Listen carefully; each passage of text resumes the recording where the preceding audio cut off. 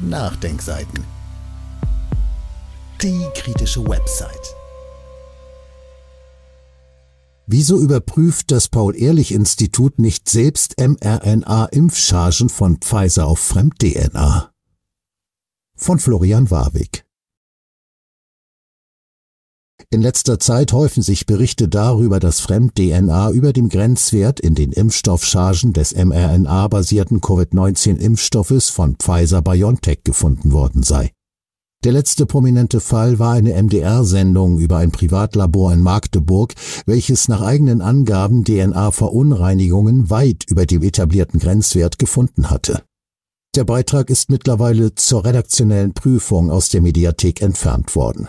Aber auch außerhalb Deutschlands gibt es entsprechende Untersuchungen und Berichte etwa aus den USA und Kanada. Die Nachdenkseiten wollten vor diesem Hintergrund wissen, wieso nicht das dem Bundesgesundheitsministerium unterstellte Paul-Ehrlich-Institut selbst entsprechende Untersuchungen vornehmen lässt, um diesen Vorwurf entweder dementieren oder bestätigen zu können. Die Antwort überzeugt nicht. Nach den O-Tönen folgt ein Faktencheck. Ähm, es gab in letzter Zeit ja einige Berichte über Fremd-DNA, äh, über Grenzwert in Impfstoffchargen von BioNTech. Pfizer, da würde mich nur interessieren, können Sie kurz darlegen, wieso das Gesundheitsministerium und das ihm unterstellte Paul-Ehrlich-Institut nicht selbst entsprechende Untersuchungen vornehmen lassen, um diesen Vorwurf entweder dementieren oder bestätigen zu können? Ähm, Herr Warwick, äh, Ganz kurz, wir hatten dieses äh, Thema hier schon und tatsächlich diese Behauptung, dass äh, äh fremde DNA in diesen Impfstoffen äh, über den Grenzwerten halt ähm, gefunden wurde, die ist falsch. Ähm, es gibt äh, Vorgaben, die die EMA dazu macht. Äh, es gibt Grenzwerte, die definiert werden und es gibt auch Untersuchungen. Jede Charge muss geprüft werden und kann äh, der bislang bislang untersuchten Chargen hat tatsächlich eine Überschreitung dieses Grenzwerts ergeben. Äh, nur ganz kurz, aber meine Frage war ja, wieso hier vertrauen Sie ja sozusagen einem Konzern auch mit einer entsprechenden Geschichte. Aber meine Frage war, wieso Paul-Ehrlich-Institut nicht selbst solche Untersuchungen durchführt. Die Antwort interessiert ja, glaube ich, nicht nur mich. Herr Warbeck, ähm, noch einmal, ähm, es gibt Vorgaben, die die EMA dazu macht, welche Untersuchungen durch die ähm, ähm Bundesoberbehörde dann vorzunehmen ist, welche Untersuchungen durch die Hersteller vorzunehmen sind. Und all diese Untersuchungen, die müssen validiert und dokumentiert werden. Und insofern äh, bleibt es dabei, auch diese Dokumentation wird entsprechend untersucht und es hat bislang keine Überschreitung dieser Grenzwerte gegeben. Faktencheck der Aussagen des Sprechers des Gesundheitsministeriums. Zitat Herr Warweg, wir hatten dieses Thema hier schon. Bereits diese erste Behauptung ist nachweislich falsch, denn die Frage lautete ja, wieso das Paul-Ehrlich-Institut nicht selbst als Bundesbehörde, die dem Bundesgesundheitsministerium untersteht, Pfizer-Impfstoffchargen auf mögliche DNA-Verunreinigungen über dem Wert untersucht, um entsprechende Vorwürfe auszuräumen oder eben auch zu bestätigen.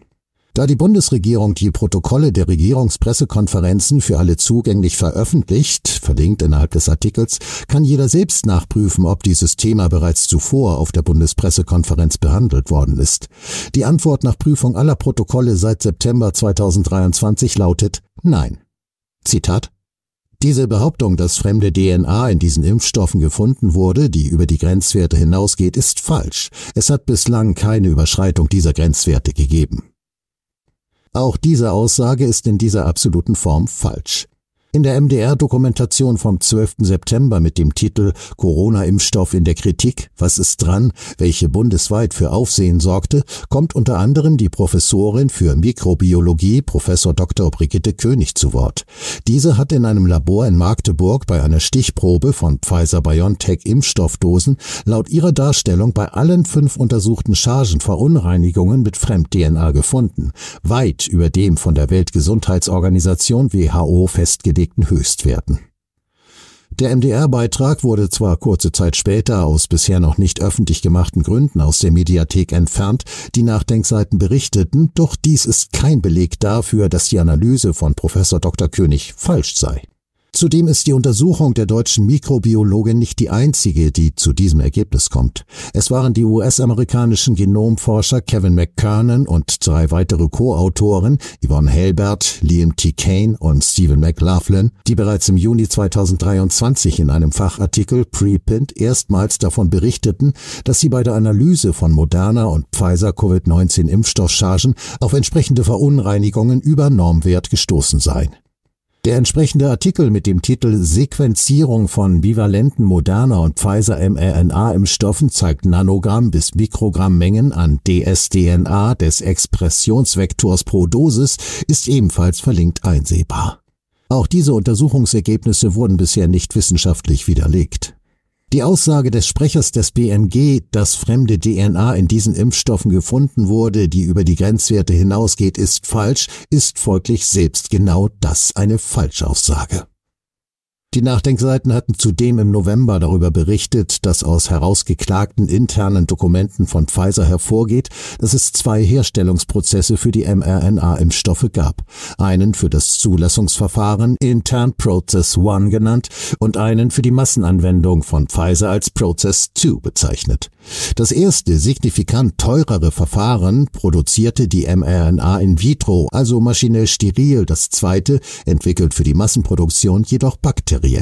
Das führte, wie die Europäische Arzneimittelagentur EMA auch offen gegenüber Pfizer monierte, zu mit Fremd-DNA verunreinigten Impfstoffchargen.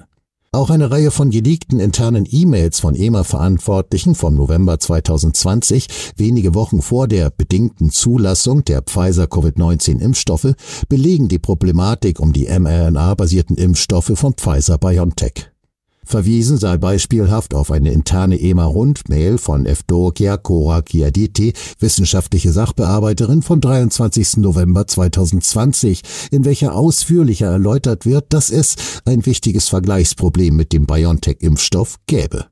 Das von der Zulassung zu klärende Problem sei die Tatsache, dass ein signifikanter Unterschied zwischen den klinischen Chargen 78 Prozent der mRNA-Integrität, auf deren Grundlage die Interimsanalyse zur Zulassung durchgeführt wurde, und den kommerziellen Chargen mit nur 55 Prozent mRNA-Integrität festgestellt wurde. Weiter heißt es, die potenziellen Auswirkungen dieses RNA-Integritätsverlusts bei kommerziellen Chargen im Vergleich zu klinischen Chargen in Bezug auf Sicherheit und Wirksamkeit sind noch zu definieren. Darauf antwortete Veronika Jekerle, Leiterin des Qualitätsbüros der EMA, am 24. November und verweist auf drei wesentliche Einwände sowie Bedenken und kommt zu folgender Schlussfolgerung. Es bestehen nach wie vor eine Reihe größerer Bedenken, die sich auf das Nutzen-Risiko-Verhältnis des Vakzins Wirksamkeit Sicherheit auswirken, insbesondere die Frage der Vergleichbarkeit in Bezug auf die mRNA-Integrität. Diese Bedenken werden von den meisten Mitgliedstaaten geteilt. Eine Zulassung bis Ende des Jahres könnte möglich sein, wenn diese Bedenken plus GMP ausgeräumt werden. Alle verbleibenden Qualitätsprobleme müssen im Kontext der gesamten BR berücksichtigt werden. Zitat Ende.